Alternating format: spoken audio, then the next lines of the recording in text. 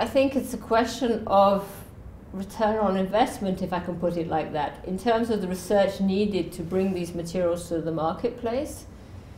This is very time consuming and therefore cost consuming because construction materials are designed to be used for 40, 100 years, and this involves a lot of basic understanding and testing.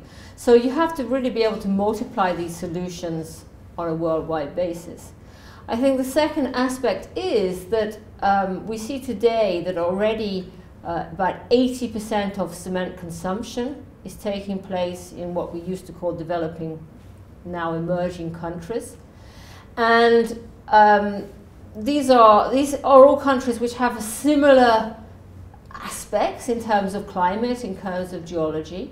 What we uh, looked at in our first phase was to see that these calcined clays, the type that is really suitable for this product, is really abundantly available in this tropical, subtropical zone where most of the growth in demand is expected to come uh, in the next few decades.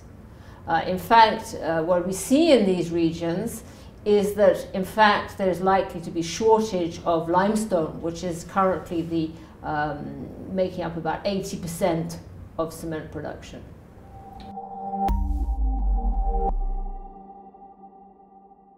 I think we see already that um, work on cement and concrete is already very internationalized. Typically, if you attend a conference, you know, there are people from uh, 50 plus countries uh, attending these. And um, we are interacting already with people from many countries around the world. Um, however, I think what we're very privileged to have here in Switzerland is um, very sophisticated equipment, uh, very good basis of, of understanding on a theoretical level. And what we've already seen from our collaboration with Cuba over the last six years is that this uh, underlying knowledge really helps in the field.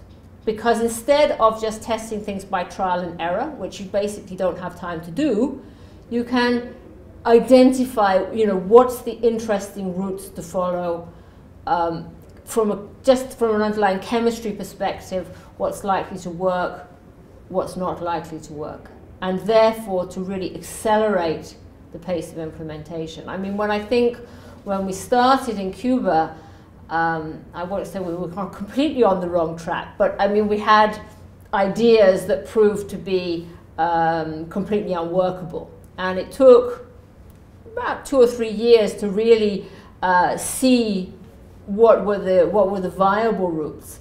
And um, this is very well supported by, as I say, basic chemistry, basic physics, and uh, characterization equipments, which we're very privileged to have here in Switzerland.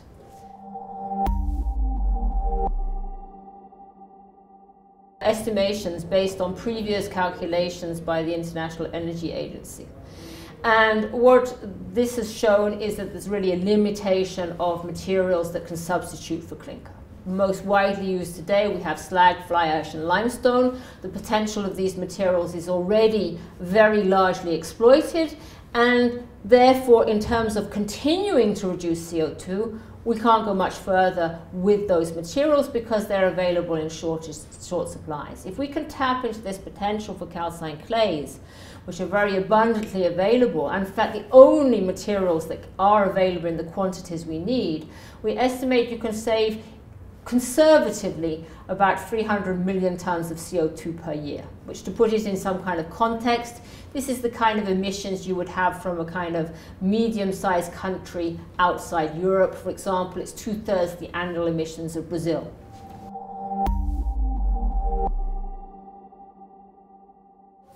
It, it, it's an evolution rather than a revolution. I think this is important because you know you find evolution. This can be accepted on the market. It's not like we're um, talking about completely different materials. We're talking about a new packaging of technologies that are previously known that can be produced with existing equipment.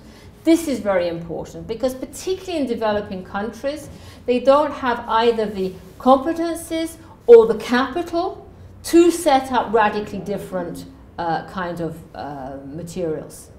So I think um, we've seen, going back 100, 150 years, that there is no competitor to Portland cement clinker as the basic chemistry. We have materials like calcium aluminate cements, but these make up a tiny proportion of the market, about one thousandth or one ten thousandth of the production of Portland cement clinker.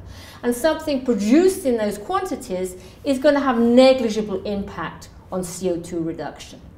So this is really why I think we have to look for uh, solutions that are really viable from a technological, from a um, cost, and from a equipment and knowledge perspective rather than uh, dreaming up very exotic solutions which um, just in terms of the minerals available worldwide are not going to be viable.